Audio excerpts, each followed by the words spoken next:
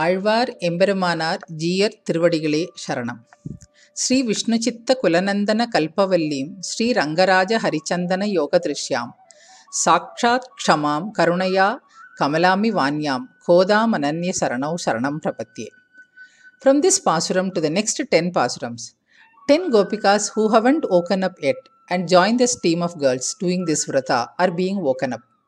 Whoever wants to have the darshan of Sri Krishna have joined the vrata.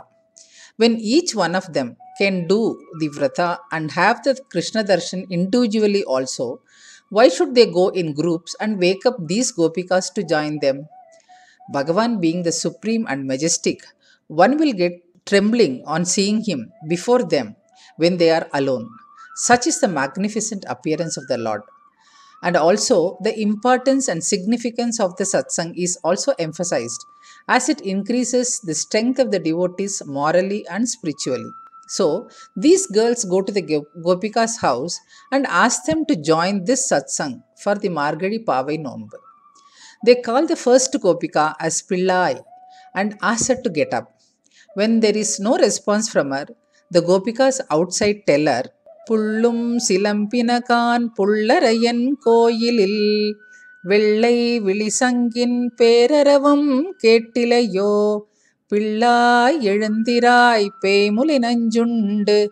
கள்ளச்சகடம் கலக்கழியக்காலோச்சி வெள்ளத்தரவில் துயிலமர்ந்த வித்தினை. உள்ளத்து கொண்டு முனிவர்களும் யோகிகளும். மெல்ல எழுந்து அரியன்ற பேரரவம்.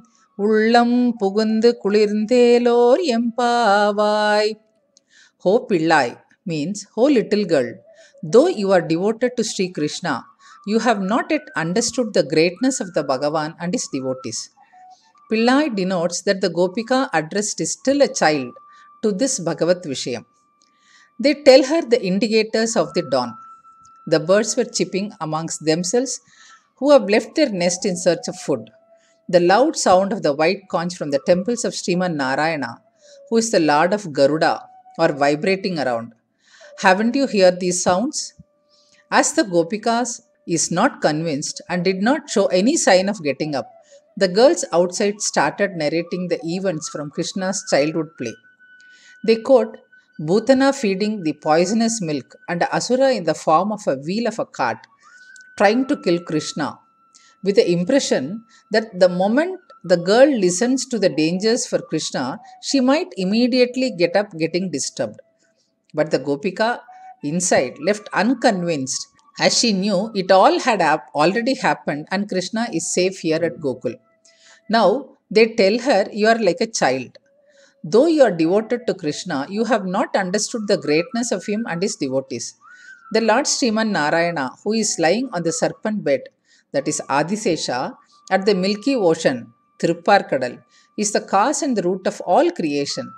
The whole place is vibrating with the name of Hari, which are chanted by his devotees who meditate on him and who do divine service to him once they wake up. This shows that all his devotees have also woken up. It is said in our scriptures that chanting of Harinama seven times once you wake up from sleep will remove all your sins.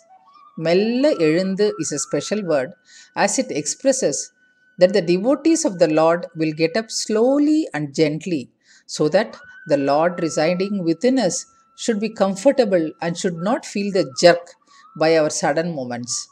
So when they wake up, they get up slowly and gently.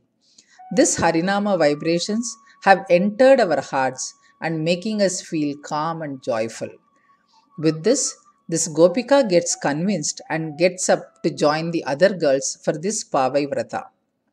Then they all go to the next Gopika's house. We will also join them to the next Gopika's house tomorrow. Let us make it a habit to meditate and chant Harinamam seven times every morning once we wake up and make the day divine. Andal Rangamannar திருவடிகளே சரணம் ஸ்ரீமத்தே விஷ்ணுசித்தாரிய மனோநந்தன ஹேதவே நந்தநந்தன சுந்தரியை கோதாயை நித்திய மங்களம்